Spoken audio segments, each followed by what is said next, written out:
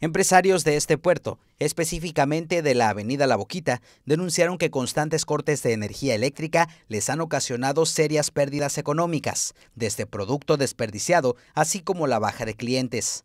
Señalaron que sin justificación la Comisión Federal de Electricidad no dota el suministro de luz, problema que enfrentan desde hace varios meses. El caso más reciente ocurrió entre ayer y hoy, pues durante 24 horas no contaron con energía para desempeñar sus labores. El empresario Rodrigo Díaz explicó que en total son alrededor de 40 inmuebles los que se ven afectados por el corte de luz, 10 son comercios y oficinas, y el resto corresponden a casas habitación.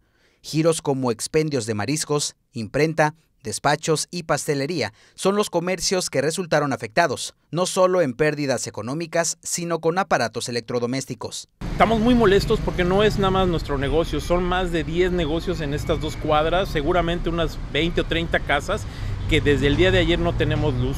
Aquí la vecina de los mariscos está teniendo que mover sus mariscos para, para que no se le echen a perder porque ya no podemos confiar que esté funcionando. La pastelería o otro caso, las oficinas han dejado de trabajar. Nosotros llevamos sin poder eh, hacer las impresiones y estamos regresando el trabajo. Claro que aparte de del daño que nos genera por no poder generar nuestro trabajo día a día, es todo el daño a los equipos. Dijo que los empleados de la CFE le han informado que el transformador se quema, hecho que consideró pudiera deberse a que las líneas se sobrecargan o que no existe un estudio adecuado para distribuir la energía. Seguramente están sobrecargadas las líneas, no tienen un estudio, no sé qué estará pasando, digo, ya estoy especulando de la desesperación, pero es muy problemático para nosotros que trabajamos día con día que no funcione. Por su parte, la comerciante Estefanía Salgado, propietaria de una pastelería en esa zona, lamentó el corte del suministro de energía, mismo que ha retrasado los pedidos, ocasionando el descontento de sus clientes. El edificio no nos permiten tener nada de que sea con gas,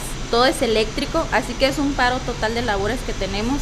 Desde el día de ayer, aproximadamente del 12 del día que se fue la luz, no hemos podido hornear, no hemos podido sacar pedidos, no hemos podido hacer absolutamente nada. Añadió que este problema los obliga a trasladarse a otros domicilios para elaborar parcialmente los pasteles, mientras que en el caso de la Comisión Federal de Electricidad, el recibo llega puntual y el pago debe ser igual. De lo contrario, suspenden el servicio. Tenemos un atraso totalmente en nuestros pedidos que nos ha tocado ir a nuestras casas para Pater Chantilly, para venir acá y hacer unas pequeñas elaboraciones, pero creo que no es el fin que tenemos porque la CFE sin falta alguna llega a nuestro recibo y tenemos que pagarlo y cumplir nosotros como clientes, pero ellos como empresa no nos dan ni siquiera una respuesta real de qué es lo que esté sucediendo, porque es una falla de hace meses.